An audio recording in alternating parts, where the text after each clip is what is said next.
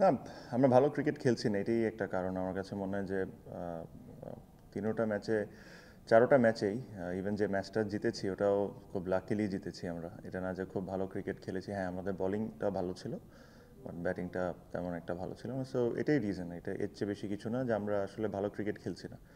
এখানে উইকেট বা অন্য কোনো কিছুকে দোষ দিয়ে আসলে লাভ না আমার কাছে মনে হয় যে অন্য দিনের তুলনায় অন্য দিনের সকালের ম্যাচের তুলনায় আজকের উইকেটটা অনেক বেটার ছিল। সো আমরা ভালো ব্যাটিং করিনি। মানে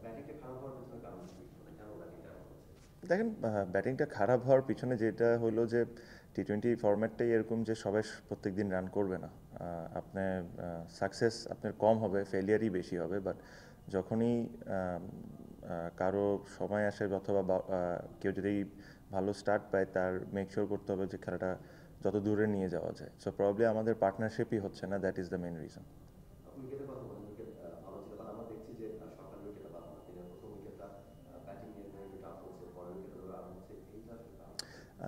দেখেন অন্য খেলাগুলায় হয়তো বা ডিফিকাল্ট ছিল এটা সত্যি কথা বাট আজকে কিন্তু উইকেট সকালে অত ডিফিকাল্ট ছিল না। অ্যাটলিস্ট একশো রান করার মতো উইকেট ছিল না এতটুকু বলতে পারি। উইকেট ওয়াজ অল রাইট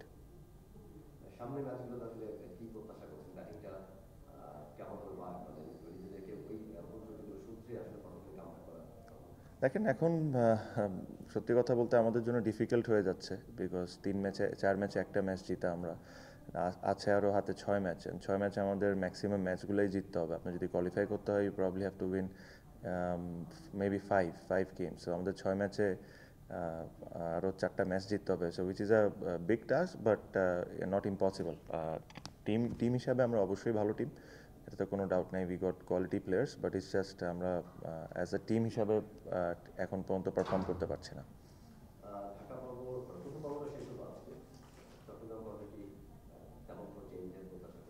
দেখেন চেঞ্জের টিমের মধ্যে চেঞ্জের করার আমাদের অপশন নাই।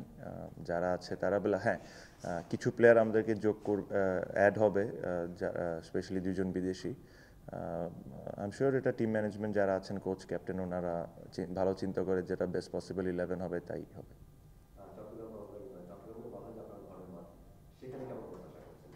না আমার ঘরের মাঠ ওটা আসলে অত ইম্পর্টেন্ট না বাট অ্যাজ এ টিম হিসাবে খেলতে হবে, যেটা আমি আপনাকে বললাম কিছুক্ষণ আগে যে আমরা অবশ্যই পেন অন পেপারে we are very strong team very good team but we are not just clicking as a team so as a team হিসাবে আমাদের ভালো খেলতে হবে।